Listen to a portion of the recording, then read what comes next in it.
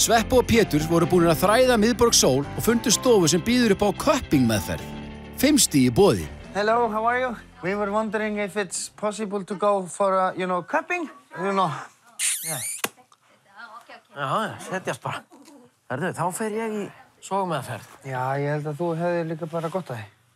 Akkurju? Æ, þú ert einhvern veginn allur að slappast upp og... Hæ? Þannig hef ég skrítið handrúrslóttinn inni, sko. Er það? Já, ég er svo nálægt henni einhvern veginn og ég er eiginlega bara fyrir.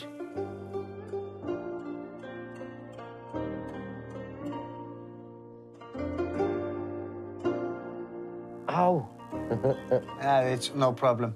Sveppi, Já, er þetta, þetta eru fimm stíg. þetta eru fimm stig?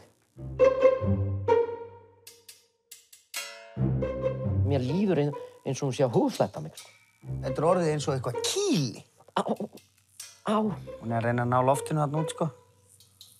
þú ert að grínast í mig gamla. Heyrðu, hún, þetta er fast. Þú verður að vera með krukkuna bráðir. Já, á. Ert þú að gera þetta, Sveppi? Gera hvað? Hvað, er hún að fara inn í raskati á mér? að? Þessu. Ég, hún... Hvað er ég með marga krukkur á bakinu? Þú ert með fimm. Fimm, já. Á. Ah. Sér eitthvað á mér það? Ekki þannig. Ekki þannig.